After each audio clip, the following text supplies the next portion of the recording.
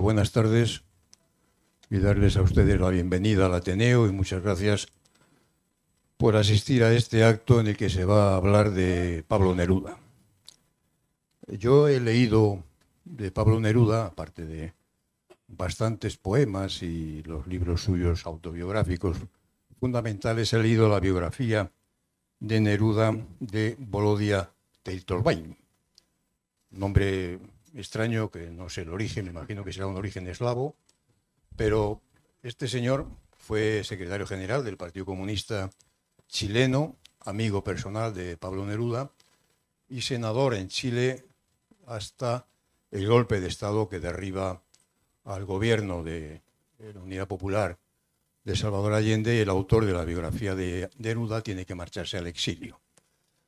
Después vuelve y ya digo que es lo que he leído de la biografía de Neruda, junto lógicamente con Confieso que he vivido y Para nacer he nacido.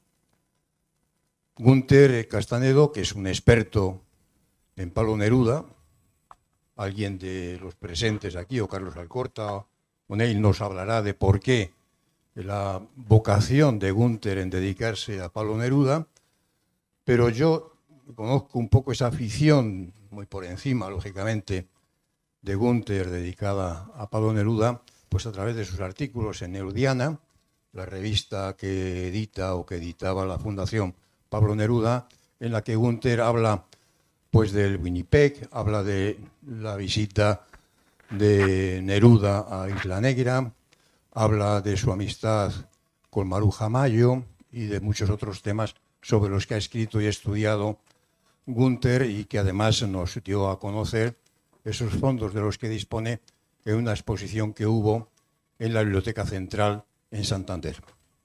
Bien, sin muchos más eh, datos, yo voy a dar la palabra a los que nos acompañan, que es Carlos Alcorta, que es el editor de la biografía de Pablo Neruda que se presenta hoy en el Ateneo y de la que es autor Gunther, y al profesor de literatura latinoamericana de la Universidad de Madrid, Neil.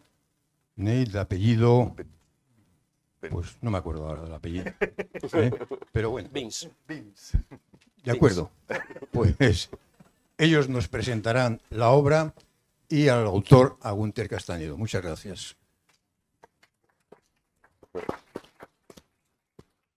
Bueno, muchas gracias Jesús y al Ateneo de Santander por, como siempre, brindarnos la hospitalidad para presentar un libro. Muchísimas gracias a todos ustedes, por supuesto, por acompañarnos en esta presentación. A, Jesús se le ha olvidado el apellido de Neil y a mí se han olvidado los papeles. Así que me van a permitir, gracias a la tecnología, que a Neil, que aunque nos conocemos epistolarmente hace mucho, no, no tenía la fortuna de conocerlo directamente, he sacado el, como digo, el, currículum. ¿eh? Bueno, nació en, Londres en 1965. Como ha dicho Jesús, es profesor de literatura. A mí me gusta decir hispanoamericana más que latinoamericana, pero bueno, de eso podríamos hablar largo y tendido. En la Universidad Complutense, eh, bueno, es licenciado y doctor. No sé si hiciste el doctorado en la Universidad Católica de Chile o en la Complutense. En la Complutense. Bueno, tiene infinidad de libros publicados sobre la literatura hispanoamericana yo tuve la fortuna en mi breve época de director editorial de la, de la editorial Calambur de trabajar conjuntamente en unos libros, sobre todo en el último, en Si España cae, ¿no? Eh, es un decir el título. Y luego también tiene una amplia obra poética que, por cierto, la tienes un poco abandonada, ¿no? porque si, según he visto en el currículum, tu último libro data, es una antología y data de 2011. Eh, no, no, ha, no, ha, venido la musa, no ha... o, quizá el exceso de trabajo investigador eh, te, te, impide escribir poesía, no sé, luego nos, comentarás. Bueno, como digo, es un experto en la literatura hispanoamericana, ha hecho eh, unas antologías y ha estudiado mucho la obra de otro chileno, Nicanor Parra. Eh, él se ocupó cuando obtuvo el premio Reina Sofía, fue el Parra, de hacer la antología que edita siempre la Universidad de Salamanca, creo que es, ¿no? La que edita esos libros. Y bueno, no me voy a extender mucho más porque el currículum, como digo, tiene infinidad de artículos y de libros, es todos estupendos sobre esa, sobre esta, esa disciplina. Eh, de Gunther, bueno, ¿qué les voy a hablar? Eh, aquí hay un montón de amigos y de pacientes. Pues me consta que Gunther está visualizando y apuntando a los pacientes que no han venido. Esos la próxima vez van a sufrir. Van a sufrir en su, en su consulta, se lo puedo asegurar. Bueno, eh, al margen de... al margen de la broma, les diré, como ha dicho antes Jesús, efectivamente es un experto en la obra de Pablo Neruda desde aquella época adolescente en que leyó, cayó en sus manos 20 poemas de amor, ¿no? Y una canción, luego nos explicará un poco más. Ha publicado también varias, varios libros dedicados a Neruda y con relación a otros poetas como Antonio Machado o como Miguel Hernández. Eh, tuve la fortuna de colaborar con él en la, en la, exposición que se hizo en 2015 en la Biblioteca Central eh, sobre Pablo Neruda. Y también ha editado, bueno, aparte del personario que está todavía inconcluso, que vas por la C, me parece, o sea que te queda un largo itinerario de, del abecedario, también unos libros sueltos dedicados a, bueno, al entorno de Pablo Neruda, en los cuales también tuve la oportunidad de participar en su momento. Así que con estos antecedentes, eh, he, de, decir eh, que esta biografía que ahora ve la luz eh, lleva ha llevado un lento proceso de, investigación y de trabajo, pues yo creo que hablamos de ello en, alguno de, en alguno de los, cuando estábamos haciendo alguno de los pliegos, ¿no? O sea, in hilo tempore. Cinco o seis años. Cinco o seis años. He de, he de, decir que he tenido que estar machacando un poco a Gunther, dándole un poco caña para que se metiera con ello, ¿verdad?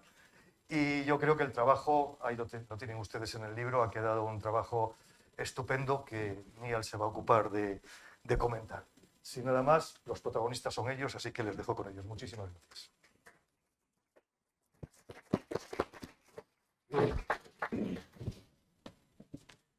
Bueno, bueno. Buenas tardes. ¿Se escucha bien? ¿Sí? ¿No se escucha? Sí. Más o menos. Vale. El, bueno, gracias al Ateneo, gracias a Carlos, a Gunther por esta invitación. Es un placer estar aquí. Y, um, y puede leer un texto, intentaba hacer un texto a mí, que se lee, pero que, que, que se puede escuchar más o menos. Me pregunto a veces qué habría pasado si un obús hubiese caído sobre Pablo Neruda mientras visitaba por última vez su apartamento en la Casa de las Flores, en Madrid, en julio de 1937. De los otros dos grandes de su generación, su amigo Federico García Lorca había muerto asesinado un año antes y en abril de 1938 César Vallejo moriría en París con aguacero. ¿Qué lector de poesía no ha preguntado alguna vez qué habría sido de Lorca y de Vallejo si no hubiesen muerto tan jóvenes? ¿Cuáles son las obras que no llegaron a escribir? ¿Cómo habrían madurado y envejecido? Neruda, en cambio, Tuvo tiempo para consagrarse como el poeta más importante del mundo hispano. Disfrutó y sufrió las consecuencias de su éxito.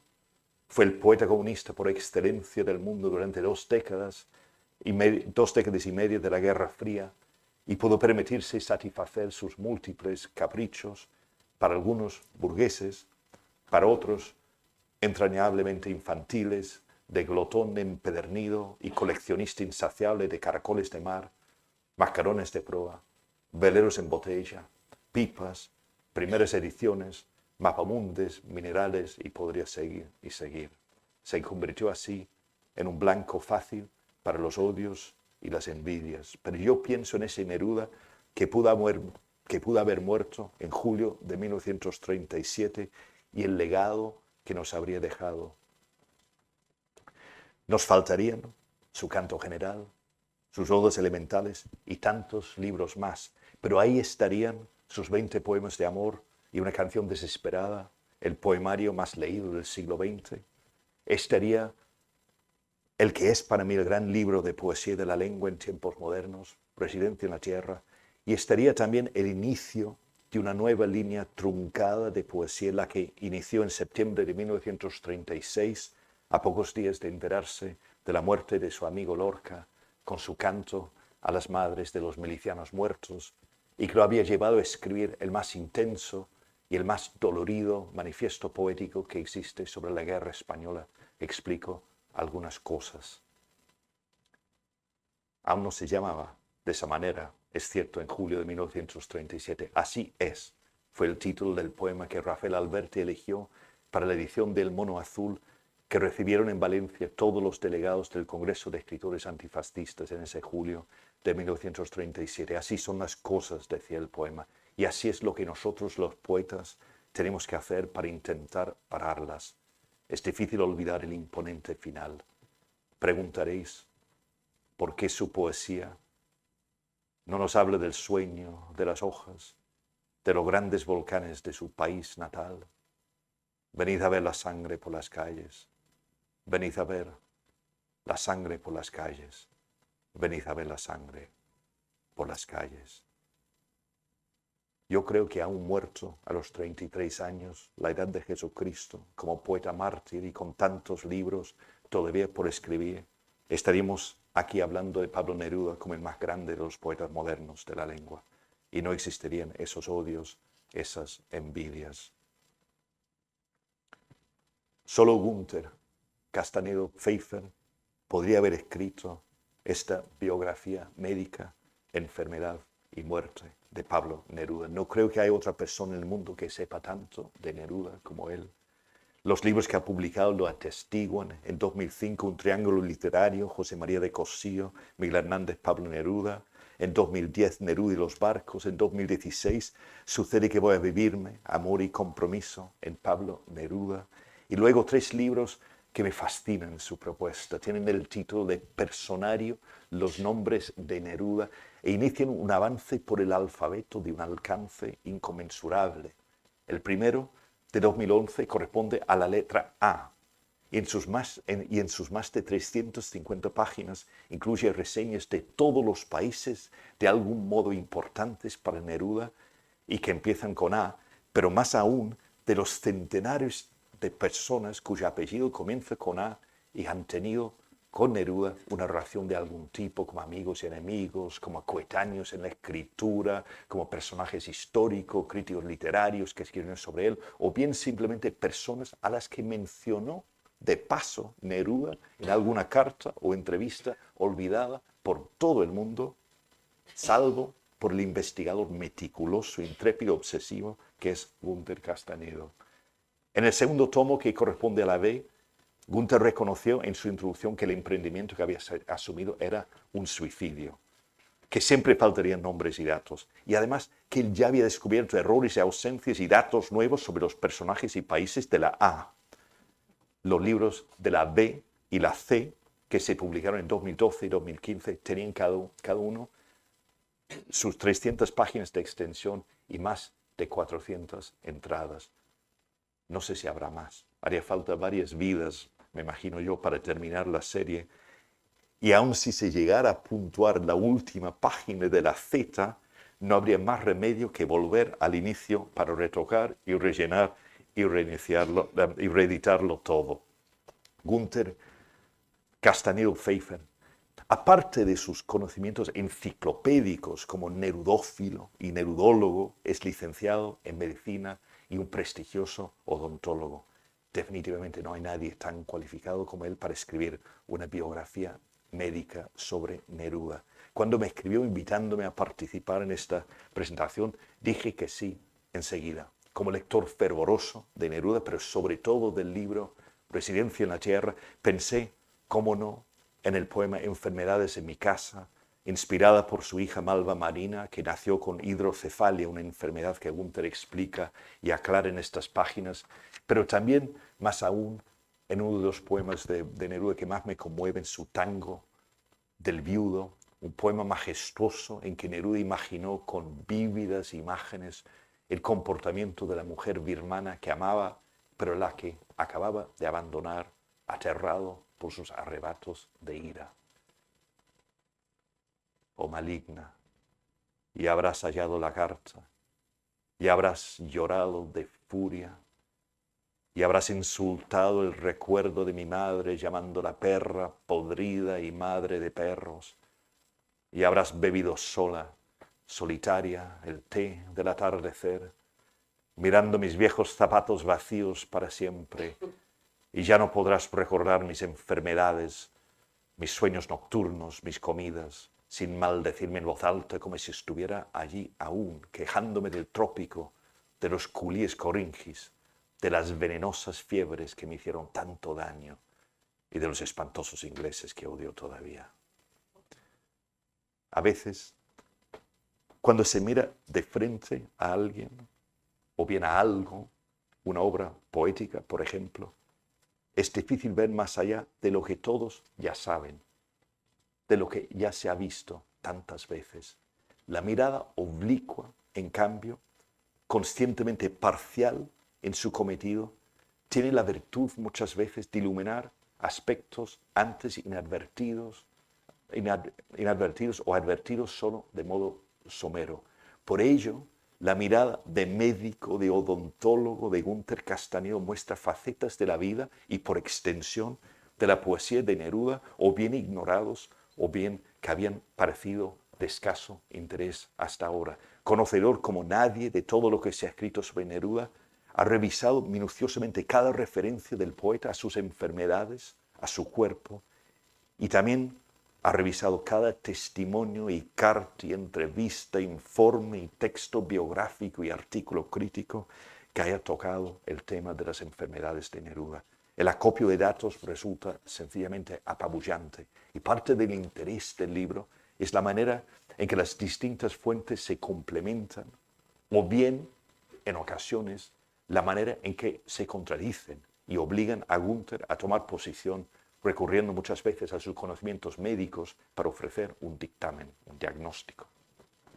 La pasión del biógrafo por Neruda, al que reconoce como el más brillante poeta del siglo XX en lengua castellana, en pocas ocasiones lo aparta de un afán de objetividad, una objetividad que es por supuesto imposible, y llama la atención y se agradece, por ejemplo, el hecho de que no escatime testimonios o comentarios que en ocasiones dejan al poeta querido bastante mal parado. Pero en busca de la verdad hay que hacerlo así. Yo he aprendido mucho de este libro. Me han fascinado los capítulos sobre el niño enclenque y enfermizo que era Neruda. Ahí están las palabras de su padre, José del Carmen Reyes, citado por Gunther. Neftalí, dice, era un niño de carácter tímido y muy enfermizo. La mayor parte del tiempo la pasaba en cama. Era tan débil que hasta temimos por su vida. Y aunque un niño es un adulto, no es un adulto en miniatura, como señala Gunther, las citas de las cartas muestran que en este caso el niño enfermizo se hizo con los años un joven enfermizo. Como escribió a su gran amor de juventud, Albertina Zócar, estaba flaco como un esturión, mientras que ella diría más tarde, Pablo fue muy delicado de salud toda su vida. Pasaba resfriado con gripe, con un romarizo que no se le quitaba nunca, siempre sonándose la nariz. Me han encantado las páginas sobre el Neruda deportista. En palabras de un compañero de colegio, era malazo para el fútbol, no le pegaba la pelota para nada. Era malo también para los puñetes. Tampoco sabía nadar o remar y aunque insistió en su poesía sobre su destreza como jinete, dicen a un, poema, me eduqué sin embargo a caballo, los montañeros que lo ayudaron a salir de la clandestinidad en 1949 cruzando a caballo la cordillera de los Andes, tenían otra opinión. Era pésimo para andar a caballo, decía uno, jamás había montado. Y otro lo veía ya subido al caballo como un saco de papas con barba. Y cuenta que después de una caída, el poeta apareció gateando entre las ramas como una foca resollante y temblorosa. Gunther relata los días de decadencia que vivió Neruda como joven estudiante en Santiago de Chile, una vida alcoholizada de borracheras colectivas, pero marcada también por el hambre y las enfermedades, el hambre y las enfermedades que matarían a varios poetas que fueron compañeros de viaje suyos, Romeo Murga, Juan Egaña, Joaquín Cifuentes Sepúlveda y Alberto Rojas Jiménez, que vendría volando en uno de los grandes poemas de Residencia en la Tierra. Si en Santiago las cartas de Neruda estaban llenas de quejas sobre la falta de dinero, sobre sus enfermedades y sobre el frío insoportable de los cuartuchos de estudiante, cuando se instaló el poeta como cónsul en el lejano oriente, en Birmania, en Ceilán, en Indonesia. Sus cartas seguirían llenándose de quejas sobre la falta de dinero y sus enfermedades, esas venenosas fiebres que le hicieron tanto daño, y también sobre, pero esta vez sobre el calor y la humedad insoportables. Diría más tarde, sobre esos años, un cónsul con hambre no se estila. Entre gente vestida de etiqueta no se puede decir, un sándwich por favor, que me desmayo. Yo solo fui un cónsul perdido en sus pobrezas. Aún así, Neruda, como cuenta Gunther, engordó en Ceilán, según el poeta, por culpa del arroz. Y en una carta desde Indonesia, su amigo argentino Héctor Eande escribió, escribió sobre la vida consular, el protocolo, las comidas, smokings, fracks, chaqués, uniformes, bailes, cócteles, todo el tiempo.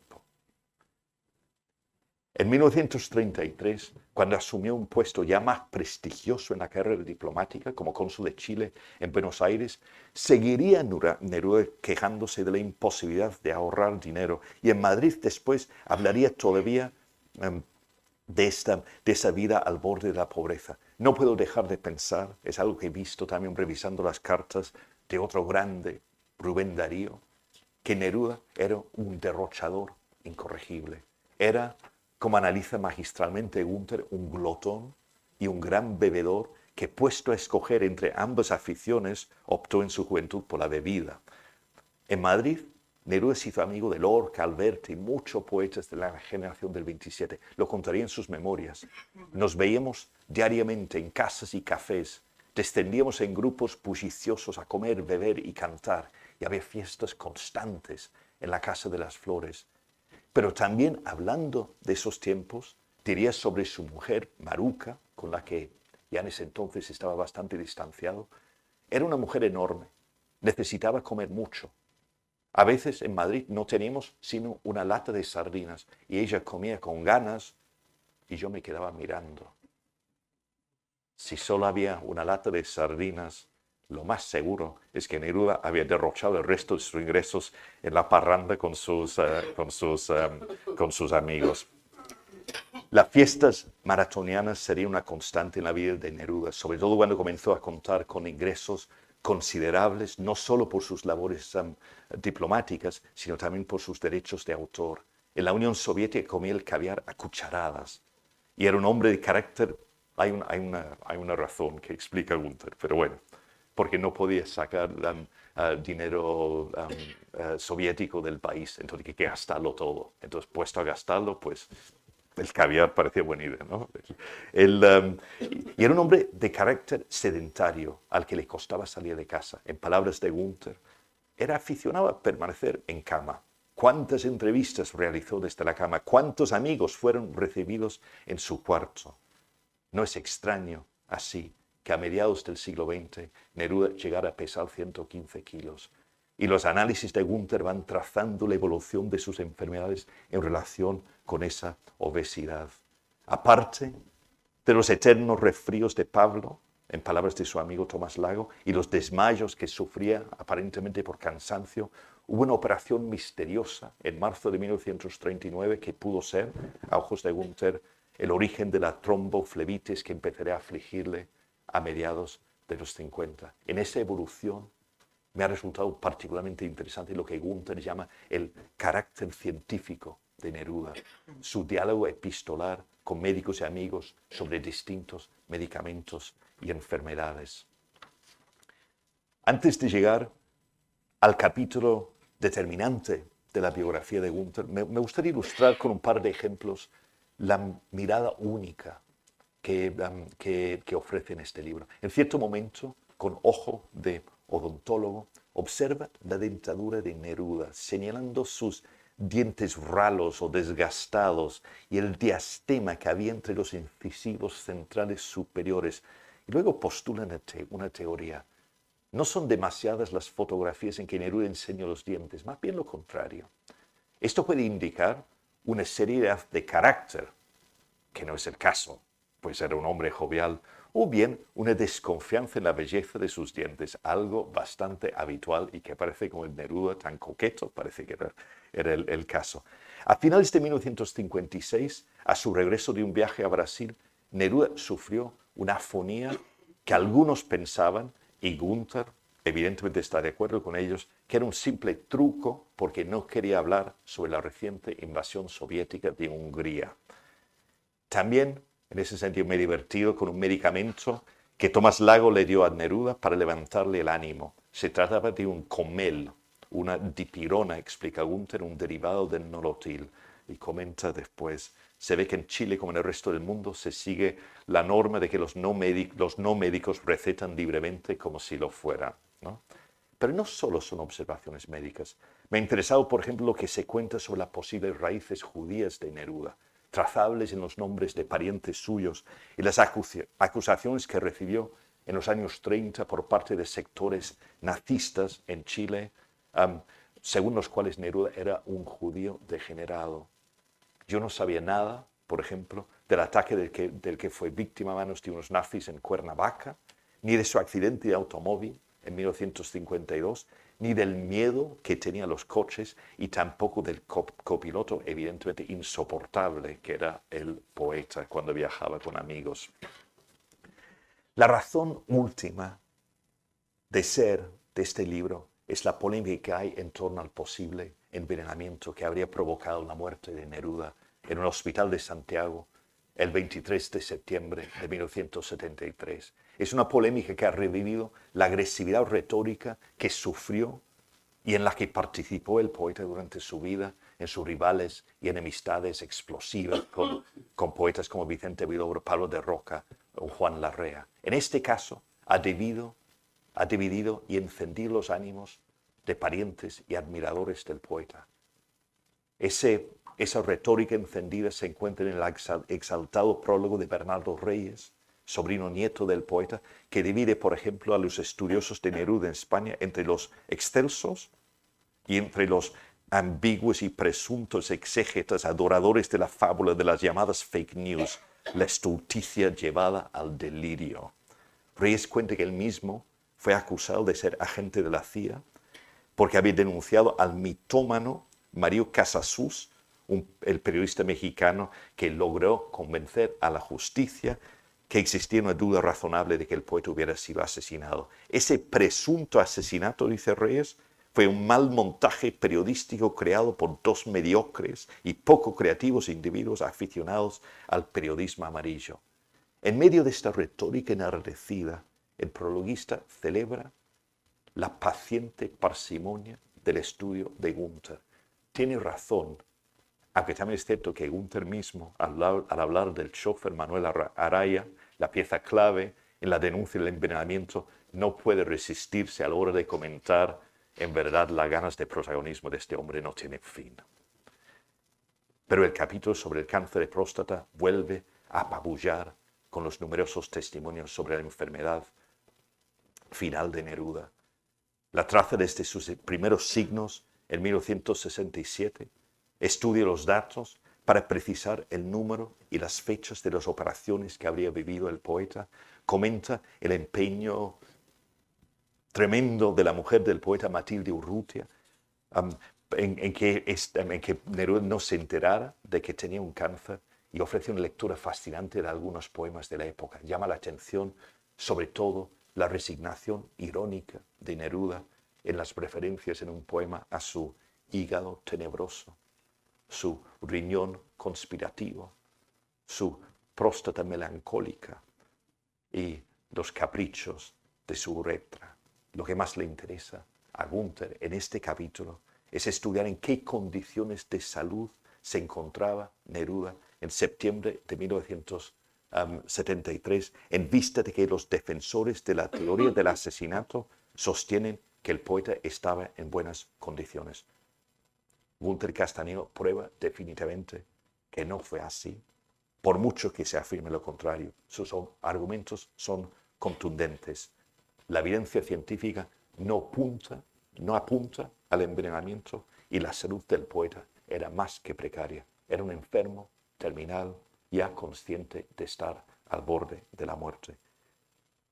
Quisiera terminar esta presentación del libro de Gunther, la culminación de tantos años de investigación sobre Neruda, No es la culminación seguramente porque seguirás, pero bueno, um, recordando unas palabras del ensayista inglés Walter um, Pater sobre el fervor intelectual que las artes son capaces de engendrar. To burn always with this hard gem-like flame, to maintain this ecstasy is success in life. Arder siempre con esta llama, dura y brillante como una gema, y mantener vivo ese éxtasis constituyen el éxito en la vida. Ese ardor se palpa a lo largo de las páginas de esta fascinante biografía médica de Pablo Neruda.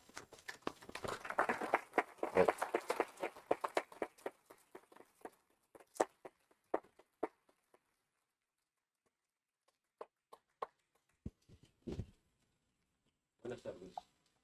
¿Murió asesinado Pablo Neruda o lo hizo de forma natural? ¿Fue un niño robusto y vigoroso o fue un niño frágil? ¿Le gustaba más el vino o el whisky? ¿Por qué escribe Gunther sobre Pablo Neruda? ¿O por qué he escrito este libro? Son preguntas que intentaré contestar. Pero antes de eso, eh, quiero en primer lugar agradecer a la editorial Libros del Aire y a su editor, Carlos Alcorta, a su equipo y en especial dentro del equipo a Leire, la diseñadora de la portada, por el apoyo y confianza que han prestado a este proyecto. En segundo lugar, Vince, te agradezco que estés aquí. Es un alto honor y una responsabilidad hablar después de, tan elocuente apasionado y sabio orador. En, eh, tercer lugar, eh, mi agradecimiento a Bernardo Reyes, que escribió el prólogo.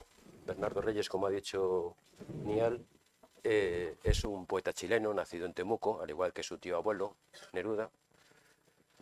Y luego, por último, pues a todos ustedes. Veo muchos rostros familiares, eh, sobrinos, hermanos.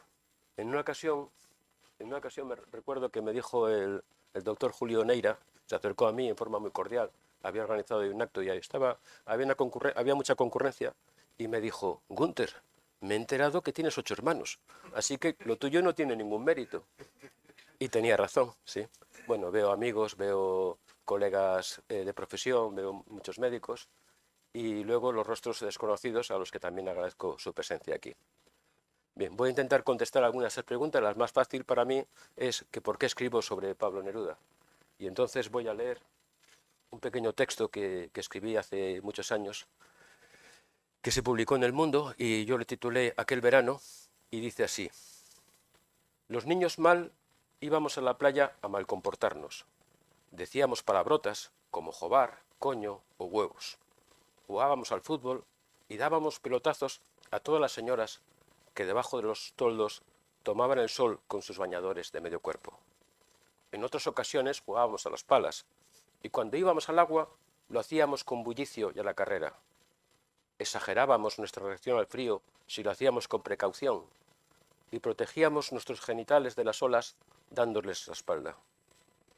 Las niñas bien que tanto nos gustaban empezaban a llevar escote en la espalda y al poco el bikini. Recuerdo una americana, Ellen se llamaba, con la que tonteé un verano, que se atrevía a llevar un dos piezas inferior con una argolla en el muslo para unir ambas piezas. Resultaba atrevidísimo. En la playa bromeábamos con ellas, las cortejábamos, ellas se hacían las estrechas, nos presentaban a sus primas de Valladolid, que venían a pasar el verano a la costa y normalmente eran más asequibles que las de todo el año. Aquellos primeros besos, todo sabor, cargados de inocente erotismo. Fue en aquella edad, un guateque en la casa del de siempre, los cuerpos en la oscuridad que se tocaban y bailaban al ritmo de la música.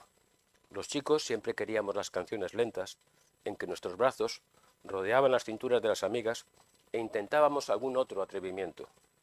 Ellas, la música rápida, para agitar sus cuerpos y mostrar lo bien que seguían el ritmo de aquellos años. Decía, fue en aquel tiempo. Escuché a una chica hablar de 20 poemas de amor y una canción desesperada. Me taladró el cerebro aquello de la canción desesperada. Compré el libro y en una tarde de aquel verano del 73, frente al mar azul, leí de corrido aquella colección de poemas deslumbrantes. En aquella época yo no había tenido sino ligeras aventuras y contactos esporádicos con las chicas. Pero aquella tarde yo era el poeta desventura- desventurado. abandonado, sí, como los muelles en el alba. Todo el dolor del mundo, la angustia de mis 16 años, se plasmaba en aquel librito de la colección Losada. En la portada, una esfera armilar con un pez que salía por ella, y como los puntos cardinales, las letras Neruda. Pocos meses después moriría, pero qué va. Desde aquella tarde sigue vivo en mi corazón, y aquel libro, leído centenares de veces, se convirtió en una víscera más de mi cuerpo.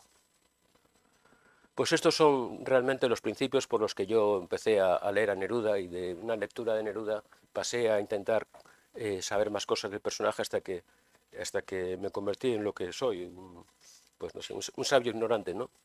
Eh, y, bueno, eh, no soy filólogo, soy médico, soy odontólogo y siempre en todos los, en todos los congresos en que he estado o, o charlas, siempre al final siempre se decía, bueno, y ahora va a hablar Gunter Castanedo, no sé qué, ha escrito, y es dentista. Curiosamente me ocurría que cuando iba a un congreso de, odontólogos y salía a reducir mi nombre por lo que fuera, siempre decían, ah, Gunter, el poeta. Bueno, por todo esto, escribir un libro sobre, sobre Neruda para mí ha sido, eh, sobre la biografía médica, ha sido unir eh, un conocimiento más científico con, con mi devoción. Pablo Neruda, como ha dicho Neil, eh, Neil ¿no? Es, eh, fue un niño enfermizo. Eh, probablemente el conocimiento de esta debilidad lo llevó a refugiarse en los libros. Y como ya ha adelantado Neil, él intentó jugar al fútbol, en el colegio tenía sus amigos, bueno, y aunque yo encontré un testimonio que decía que había llegado a hacer sus penitos, en general todos decían que era malazo ¿no? para el fútbol eh, Juvencio Valle, que era un compañero de pupitre y que con los años, curiosamente, llegó a ser Premio Nacional de Poesía, también dice una frase muy, muy significativa. cuando íbamos a las carreras nos ganaban hasta los cojos, así que no nos quedaba más remedio que refugiarnos en los libros. Y Pablo pues, pasaba parte del invierno con, eh, sus catarros, gripes, resfriados, en la cama de su cuarto, eh, leyendo novelas de aventuras. Su hermana Laura le acompañaba, se sentaba junto a la ventana y Pablo le iba preguntando, ¿qué pasa en la calle? Y decía Laura, pues está pasando un perro, pero ¿cómo es el perro? No, pues es grande. ¿Y de qué color? ¿Es canela? O sea, él parece que siempre querías eh, tener un conocimiento absoluto de lo que, de lo que ocurría, nos formaba con parte de la realidad. Y aunque los resfriados y catarros pueden ser muy comunes, eh, si unimos a esta frecuencia anormal que tenía Pablo, su característica voz nasal, que todos ustedes eh, sonará, ¿no? Eh, ¿Pueden escribir los versos? Eh, me hace pensar que posiblemente padecía de vegetaciones o, adenoides. El padre, muy preocupado por la salud del muchacho, ideó dos, dos planes para eh, fortalecerle. Y uno de ellos fue llevarle consigo, él era maquinista de tren, y iban a las canteras lejanas, adentrándose en los bosques, a recoger el, el balasto que luego se echa sobre las durmientes de las vías y iba con una cuadrilla de, trabajadores y entonces dijo, bueno, pues voy a llevar a Pablo que se va a fortalecer en estos viajes que a veces duraban una semana.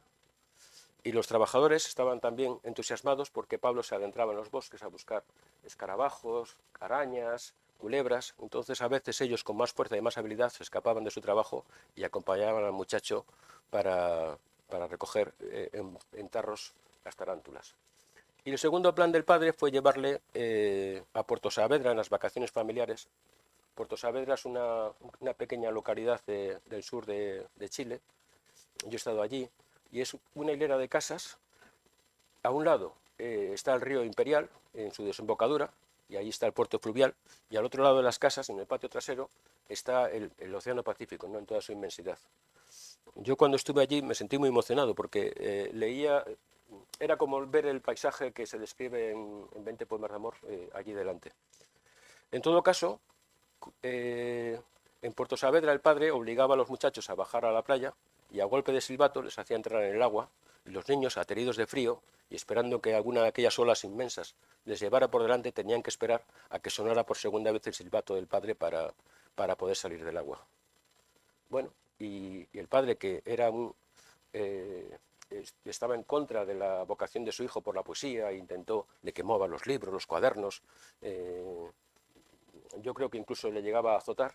Eh, curiosamente le dio los dos nutrientes más importantes de la poesía de Neruda, porque Neruda es un gran poeta telúrico y el bosque y el mar son mm, dos constantes en la poesía de Neruda, porque es una poesía que no solamente está plagada de pájaros, de ríos, de montes, sino que el mismo Neruda se siente integrado en esa naturaleza.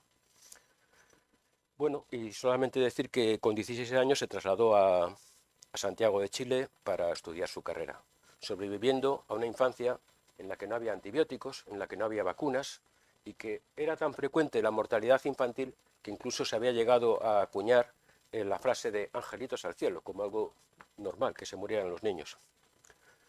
Bueno, y aunque en el libro sigo el esquema de forma biográfica, voy a hacerlo yo ahora un poquito diferente, de forma temática. Lo primero que quiero hablar es de economía y salud.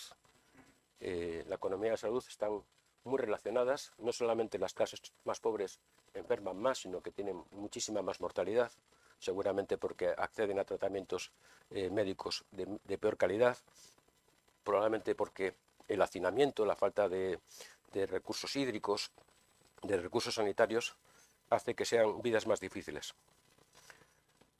Neruda en su infancia pertenecía a una clase social obrera, no era una clase eh, Mm, rica, pero tampoco eran pobres de pedir. en su casa, eh, la casa era de madera, pero era muy típico de la frontera de, Chile.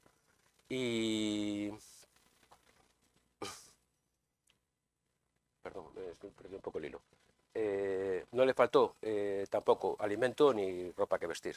Pero cuando llega a Santiago sí que la situación cambia mucho. El padre le da una mensualidad para subsistir eh, que atiende a la manutención y a la pensión.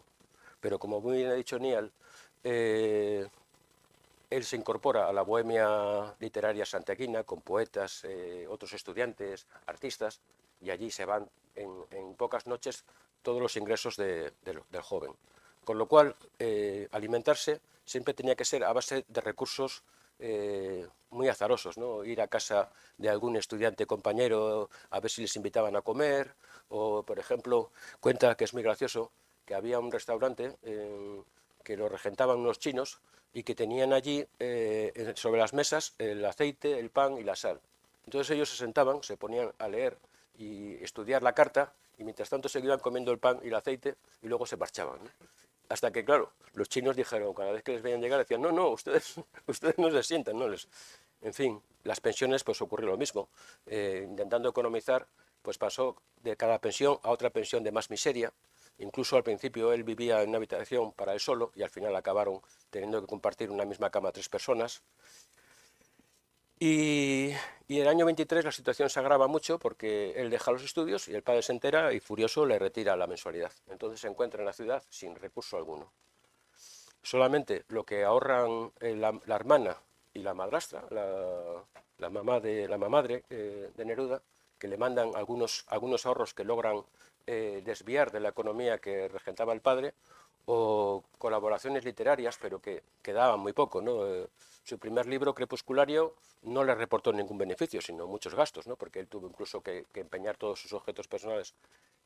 En fin, una vida de miseria. Y en el año 27, cuando va al Asia como cónsul, pues va como cónsul de tercera categoría, y la situación no, mejora nada. Creo que lo ha explicado antes Niel, pero bueno, su sueldo era de 133 dólares, creo que exactamente, y él lo equipara al salario de un del recadero de una botica. En el año 32, el gobierno de Chile, mm, después del crack económico del 29, suspende todos los consulados y Neruda tiene que volver a su país. Ya además vuelve casado y durante casi un año está un tiempo como cesante, parado, y otro tiempo trabajando en una biblioteca que él dice, Trabajaba en una biblioteca inexistente con un salario inexistente. Y, bueno, a tal es el punto que en una carta a su hermana eh, le dice la mujer de, Neruda, Maruca, le habla de que tienen que, que viven en una pensión que en la que no tienen baños y tienen que acudir a los baños públicos para, para, para hacer sus necesidades. Bueno, la situación empieza a cambiar en el año 33, cuando va a Buenos Aires, ya va como cónsul de segunda categoría. Eh, además, la capital porteña pues, tiene muchas eh, relaciones comerciales con, Santiago y entonces esas relaciones comerciales siempre dejaban dinero extra en la, en, la, en, el consulado. Año 34, 35, Madrid, Barcelona, eh, la misma situación, eh, lo ha explicado muy bien Neil, que, él está todos los días de, de, juergas, ya empieza a comprar algunos libros porque le empieza a llegar algo de dinero, pero la situación es más o menos tal, tal cual. Estalla la guerra civil, vuelve a Chile, participa en la campaña del Frente Popular, el Frente Popular le nombra cónsul para la inmigración española en Francia, es un trabajo que ejecuta con eficacia y le premian con el consulado en México del año 40 al 43, donde ya va como cónsul general. Y el cambio quizá más significativo económicamente ocurre en el 45, que él eh, mm, entra en la política, eh, se hace senador por las provincias del norte, y entonces, bueno, el salario de senador pues ya es un salario mucho más, mucho más, eh, mucho más grande, y además en el 47 Losada se hace cargo de sus ediciones y Losada lo hace a lo grande. Eh, el nombre de Neruda empieza a ser muy conocido en todo el mundo hispanoamericano, las ediciones de, Neruda se vendían. Pero voy a dar un dato, ¿cuántos libros, cuántos ejemplares hay en una edición de poesía hoy en España? Normal, entre 200 aproximadamente. 200. Entre el año 61 y 72, Losada saca 10 ediciones de 20 poemas de amor, cada una de 100.000 ejemplares. 100.000 ejemplares, o sea, en, 11 años, un millón de, libros, yo creo que es el caso único en la poesía universal que se pueda haber vendido. Sin duda. O sea, ediciones tan extensas, ¿no? Bueno, eh, de acuerdo, pues desde el año 45 hasta el 51 aproximadamente está con su salario de senador y luego eh, ese, ese, capítulo lo cierra y a partir de ese momento fundamentalmente vive de su trabajo, de, los libros, de, los libros, de los derechos de autor, se vuelve un poeta hedonista y eh, el, único, el único cambio significativo es en el año 71 cuando le nombran embajador de Chile que vuelve otra vez a ser funcionario del gobierno. Bueno, eh, ¿cómo vamos de tiempo? Neruda tuvo tres, tres vicios eh, confesables. El tabaco, mm, fumaba cigarrillos, en los años 20 estaba muy de moda, él lo comenta que Alberto Rojas Jiménez les había enseñado trucos para, el arte de fumar. Pero él siempre, bueno, fue un fumador de pipa, no voy a entrar en esto porque no quiero aburrirles demasiado. Eh, el segundo de los vicios es el alcohol. Eh, en los años 20, eh, del 20 al 27, están todas las noches bebiendo, bebiendo vino peleón, que no quiere decir exactamente mal vino, porque bueno, no sería, un vino de reserva, no sería un vino que había pasado por barricas o, con uvas escogida, pero era, un vino barato. Pero todavía el Don Simón igual no se había inventado. Y en ese momento yo diría que es un bebedor social, pero cuando va al oriente, eh, claro, en el oriente el vino no, era corriente, eran colonias inglesas y lo que se bebía era la ginebra o el whisky. Y Neruda se aficiona al whisky. Eh, y ya es una cosa que no le abandonará. La única diferencia es que el whisky que toma en los primeros años al whisky que toma en los últimos años es bien diferente, ¿no? Eh, porque luego fue un gran sibarita.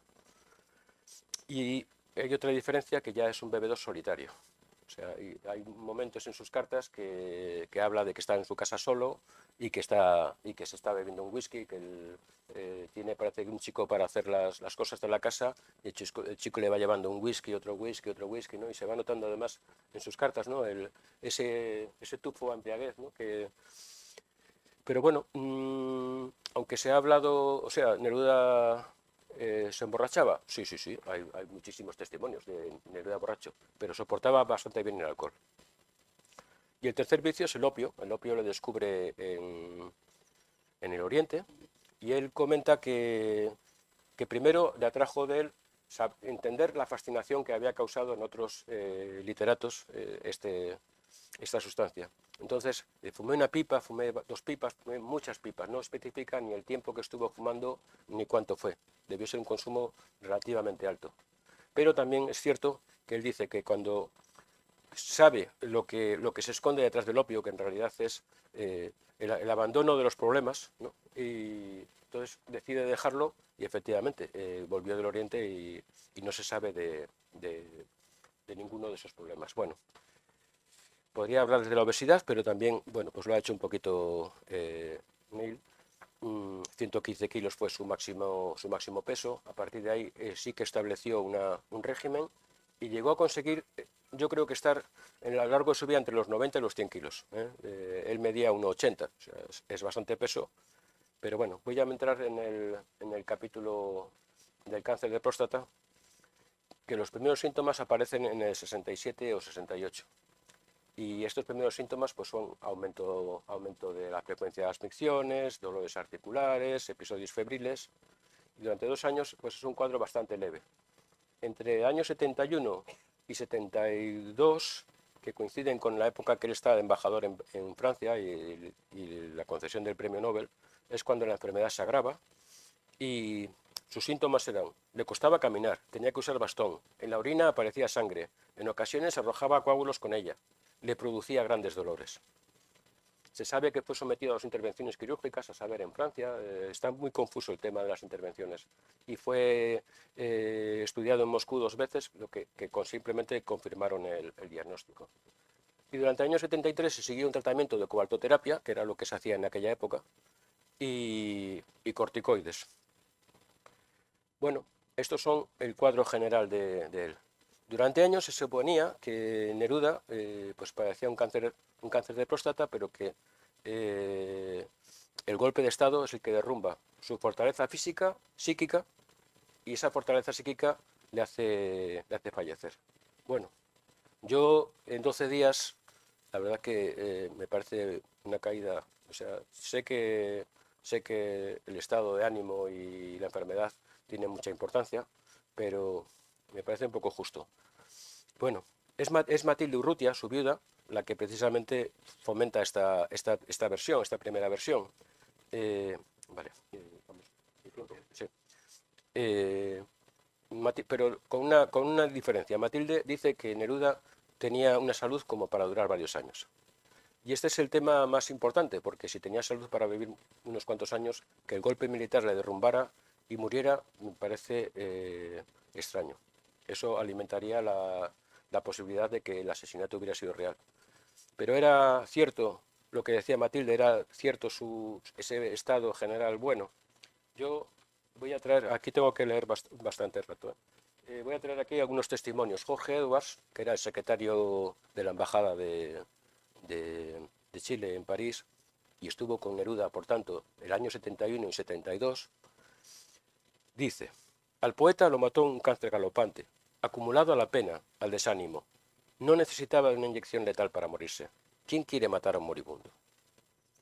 Y Samuel Fernández Illanes, por su parte, que también era secretario de embajada, también estuvo, por tanto, a diario con Neruda estos dos años, dice, hasta su partida se deterioró visiblemente.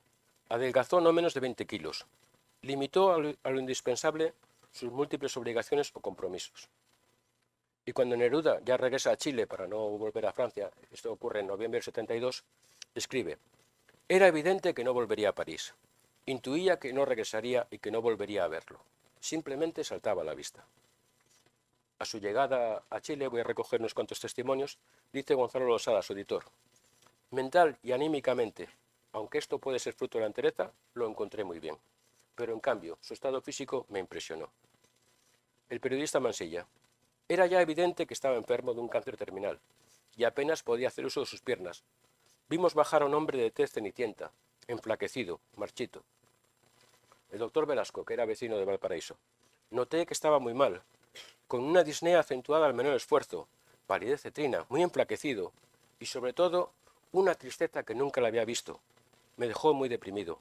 No era ni la sombra del, del Pablo que yo conocí tantos años. Aida Figueroa, amiga, amiga de toda la vida y esposa del ministro de Justicia de Allende.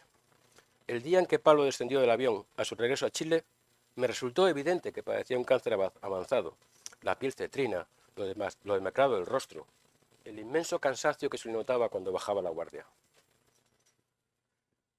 Un mes después de, su llegada, el gobierno de Allende ha preparado un gran homenaje al, poeta por el premio Nobel, por toda una vida dedicada a su pueblo, y eh, se esperaba organizar un gran acto, pero luego al final se vio eh, disminuido por muchas circunstancias. La primera porque Salvador Allende no pudo, no pudo asistir porque tener que, que atender unos compromisos internacionales. Entonces, bueno, estuvo el, el general, el general Prats, que luego fue asesinado por la derecha, y entonces en ese, en ese homenaje hicieron desfilar a Neruda en un coche descapotable, daba una vuelta al Estadio Nacional, ese Estadio Nacional que luego se convirtió tristemente en cárcel de los, de los represaliados del golpe y donde murió Víctor Jara. Y se dice que en el coche, él iba de pie en el coche y apenas resistió esa vuelta, esa vuelta al estadio. Por la noche, Neruda había organizado un, cóctel cha- con champán en el Hotel Sheraton para todos los amigos, eh, un cóctel privado, y porque se alojaba allí. Y se alojaba allí sencillamente por la razón de que eh, había acudido de su casa de Isla Negra a Santiago por la mañana y él ya no podía soportar el viaje de vuelta en el mismo día. Para que se hagan idea, el viaje de Isla Negra a Santiago es aproximadamente 115 kilómetros, o sea, como Santander-Bilbao. Pues él ya en un solo día no podía hacer el viaje de ida y vuelta. Yo creo que, que realmente se pasa muy mal. Eh, el 4 de enero de ese 73 le va a ver eh, Sara Vial, eh, la gran poeta de Valparaíso, que escribió un, poema para mi hermano, ¿recordáis? Le fue a ver a, a la casa sebastiana donde Neruda había recibido el Año Nuevo y, y comenta, habían hecho bajar al living su catre de bronce. Su rostro estaba extrañamente hinchado. Se va a morir, pensé. Bueno, la Sebastiana es una, es una casa extrañísima. Son, es como una especie de pajarera. Son pisos, eh, cuatro pisos. En cada planta hay espacio, pues no sé, no será mucho, muy superior a este, a este estrado. Y, y todos son escaleras, claro. Para Neruda era imposible vivir en esa casa. Pero como tenía las sesiones de cobaltoterapia, se conoce que para el fin de año había hecho un esfuerzo, pero habían tenido que bajar un catre de bronce desde el piso donde él dormía, que era en el superior, hasta, hasta abajo. Que eso tuvo que ser... eh, Bueno, y por último voy a dar un último testimonio de, de Julio Cortázar, que le visitó en febrero del 73. Hablaron unas horas en el dormitorio. Pablo no puede levantarse de la cama, recuerda Cortázar. Pablo siempre se despedía con un hasta pronto, pero en aquella ocasión dijo, mejor no despedirse, ¿verdad?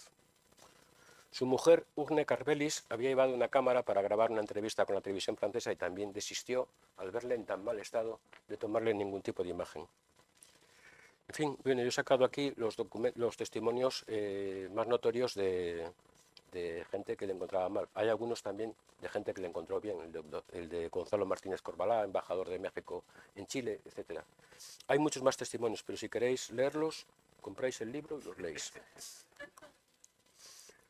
Bueno, y, ¿y cómo se genera toda esta historia? Manuel Araya, el chofer, en el 2004 hace una entrevista en el que dice que a Neruda le han asesinado, que le han puesto una inyección, y, pero esto no salta, digamos, a la, a la prensa internacional hasta el 2011. Manuel Araya, eh, a mí me cuesta un poco decirlo porque es una persona que ya ha muerto y que por tanto ya no puede contraargumentar, pero Manuel Araya falta la verdad casi constantemente. Eh, él era el chofer, pero enseguida él dice que además era experto en artes marciales, que era experto en armas de fuego, e incluso eh, llega a comentar que cuando Fidel Castro va a Santiago de Chile en visita oficial para eh, saludar y, y dar un poco de, apoyo al, al gobierno de Salvador Allende, eh, Salvador Allende lo elige a él como, como protector personal de, de Fidel Castro. ¿no? En fin, a Pablo se, le- empeña en llamarle Pablito, cuando ese nombre, pues hombre, eh, yo creo que, que no que había que tener mucha, una gran relación con Pablo para, para llamarle eso. O dice que, que en los días del golpe, los días posteriores al golpe, él dormía en la habitación con Pablo y con Matilde.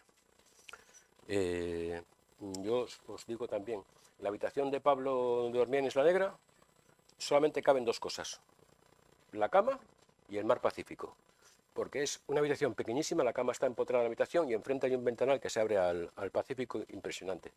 Pero allí no podía haber nadie más y además yo dudo mucho que Matilde Urrutia hubiera dejado dormir a nadie eh, en- en el mismo cuarto que ella estaba, o sea, una violación de su, Bueno, en todo caso, el juez que se ocupó del caso lo hizo yo creo que con gran eficacia, eh, pidió todos los análisis médicos, eh, pidió a las personas que estaban trabajando en el hospital de Santa María, donde murió Neruda, hizo entrevistas a los médicos, a las enfermeras, a, los, a las auxiliares, eh, leyó todo tipo de informes y luego tomó una decisión que yo creo que era muy sabia. Dijo, hay que sumar el cadáver y hay que ver lo que, lo que hay, hay que someterle a, a, un, a un estudio. Ese se encarga a un equipo internacional prestigioso, de España fue el doctor Echevarría, aquí de la Universidad del País Vasco, y bueno, eh, hicieron un análisis, confirmaron el cáncer de próstata, confirmaron las metástasis de hueso, no se encontró trazas de venenos y sí se encontraron trazas de fármacos, sobre todo especialmente nolotil. Bueno, ya cuando creíamos que todo se había acabado, de repente alguien dice, no, pero es que se han encontrado dos bacterias. Y entonces, bueno, claro, ah, pues la han matado con un ataque bacteriológico. Bueno, entonces el juez vuelve a encargar otro informe, esta vez a unos laboratorios especializados de, en microbiología, uno creo que es de Canadá y otro de Dinamarca, hacen un, un informe de 115 páginas, extensísimo, eh, y al juez le entregan un resumen eh, de cuatro páginas en el que además se resalta en, en negrita esta frase. A pesar de ser endógena al molar de Neruda, no está claro si esta cepa pudo, pudo ser responsable de su muerte. Ahora explico lo de la cepa. Pero esto nos llevaba a la casilla de salida. No se podía afirmar que, que le habían asesinado, pero tampoco se podía afirmar lo contrario. Bien, como decía, las dos bacterias, una era un estafilococo dorado, se descartó absolutamente por los laboratorios, y otra era un Clostridium botulinum. O sea, la enfermedad que produce el botulismo, ya sabemos, en envases que están mal cerrados, que se han contaminado. Pero mmm, el asunto es que la cepa que se encontró era una cepa, yo he tenido que estudiar esto después, se llamaba Alaska AE43 y no es la cepa, no es la campeona del, ramo de los, de los, clostridios, es una cepa, digamos que eh, no, muy letal. Y luego eh, se estudió genéticamente lo, los genes de la bacteria y se encontró que ninguno de esos genes era, podía ser causante de la producción de la toxina. Eh, bueno, es, pero claro, quedaba la duda porque solamente habían podido estudiar dos tercios de ese material genético, el otro tercio se había destruido. Bien, esto me lleva a mí a dos consideraciones. A consideración de que si quieres matarle con el botulismo, le inyectas la toxina directamente y ya está. Eh, pero inyectarle una bacteria para que la bacteria produzca su toxina eh, es un poco difícil. Y segundo lugar, la bacteria había aparecido en una muela. Y entonces mm, se descartaba la inyección. Por tanto, había tenido, había tenido que ser ingerido. Y este es el resumen, porque yo me pregunto si, son capaces de, preparar en 12 días, porque el golpe de Estado fue el día 11 y el día 23 fue la, muerte de Neruda, en 12 días preparar un, un, asesinato tan sofisticado, me cuesta creer que no escogieran para eso al campeón de las bacterias, eh, a la superbacteria, a la que le iba a matar seguro y bueno, y esto unido a otras incongruencias, porque el gobierno de México quería haber sacado a, Neruda de Chile y solicita los papeles para, que para poder sacarle, y el gobierno se los da. O sea que, eh, no sé, matarle, ¿no? Y, y, bueno, en fin, esto ya me lleva a, a acabar con, diciendo que si me preguntan, en mi opinión, Pablo Neruda no murió asesinado. Ya está.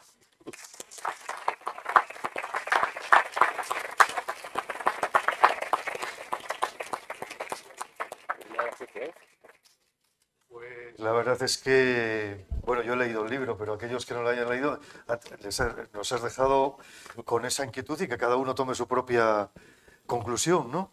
Sí. Yo soy partidario de lo que has dicho, evidentemente, como he dicho, no sé, Neil, ¿tú qué opinas? Yo, para mí, como el, um, el gran argumento a favor de la idea del asesinato es que en la, el mismo hospital en el año 81, si no me equivoco, sí que se sabe que asesinaron al gran político de la oposición, Eduardo Frei.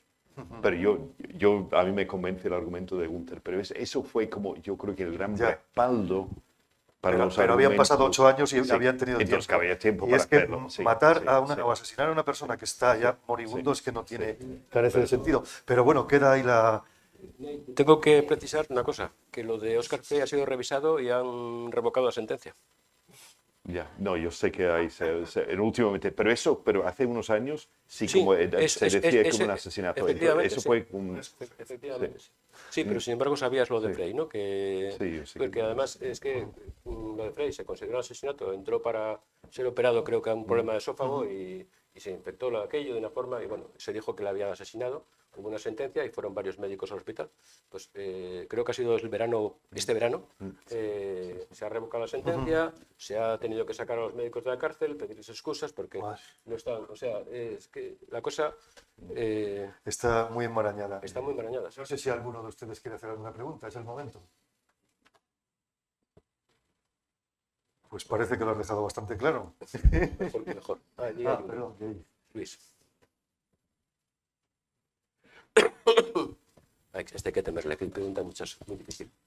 Bueno, eh, no, no tenía una pregunta. Tenía, eh, primero quiero agradecerte por el libro, porque eh, yo lo, lo compré, lo compré porque eres mi amigo y, y me acerqué con él con mucha prevención, porque el título, el título, joder, el título no atrae, ¿eh?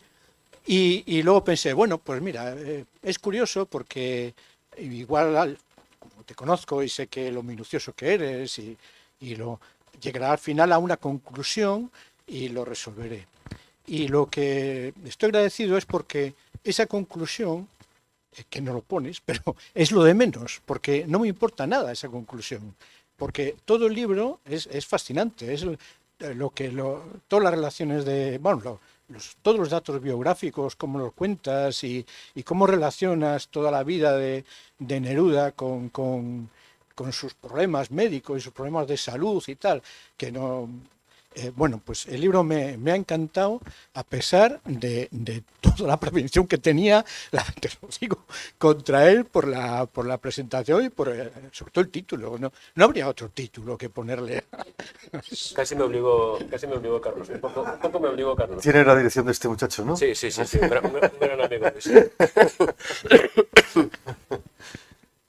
¿Alguna pregunta más? ¿Algún comentario? Pues nada. Ah, Pachi.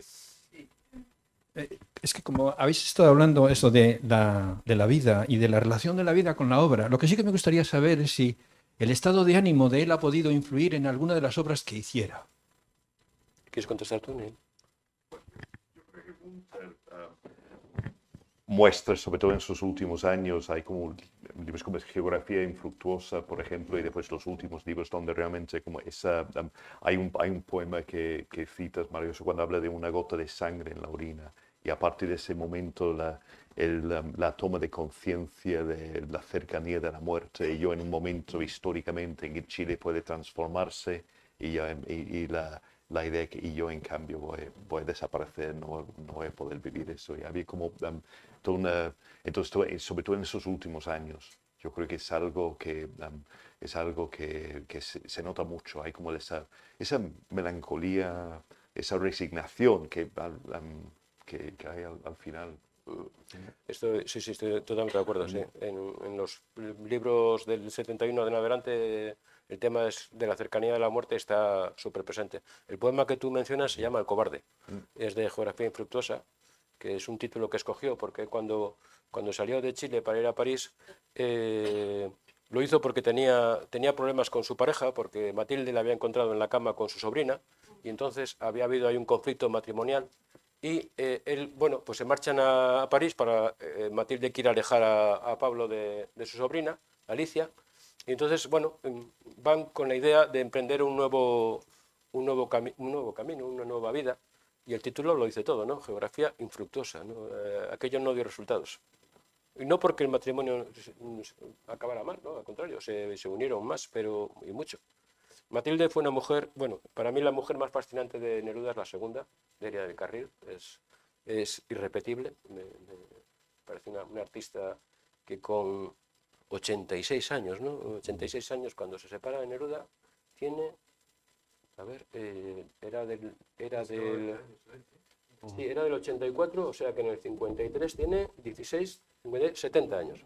Pues a los 70 años ella se marcha a París, se va a aprender grabado, empieza allí a exponer, con 80 años empieza a exponer en Nueva York, en Moscú, una mujer eh, absolutamente fascinante.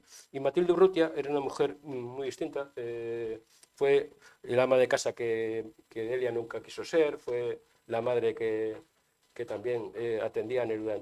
Pero Matilde alcanza, yo creo que su, su, su esplendor a la, muerte de, a la muerte de Pablo. A la muerte de Pablo re- realmente tuvo una dignidad eh, increíble, poniéndose al gobierno de Pinochet, eh, manifestándose con, con las madres de los desaparecidos. Una también, una mujer, una, una gran mujer. Otra pregunta. Hola, buenas tardes. Muchísimas gracias. Cuando has dicho que era una habitación con la cama y una ventana, me he acordado del otro. De el Pacífico era tan grande que no sabían dónde ponerle y le dejaron delante de mi ventana, que no debe ser esa casa, debe ser otra. Esa es una casa en la arena, lo que comentas. ¿eh? Era una casa en la arena. Muchísimas gracias. Muchísimas gracias, Gunter. Venga, a ti, Elisa. ¿Alguna pregunta más? Fenomenal. Pues nada, pues muchísimas gracias por vuestra presencia. Ahora, Gunther se quedará aquí para firmar ejemplares aquellos que, que queráis comprarlo. Muchas gracias.